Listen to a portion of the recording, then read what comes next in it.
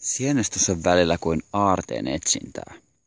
Tässä kuvassa on kantarelleja, jotka mä löysin tästä ruohikosta. Mutta sitten mun huomioon kiinnitti tämä.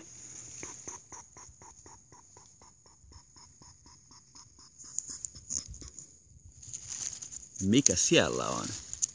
Sielläkin on kantarelli, mutta vaan niin piilossa. Mutta tätä tää sienestys on parhaimmillaan pääsee etsimään.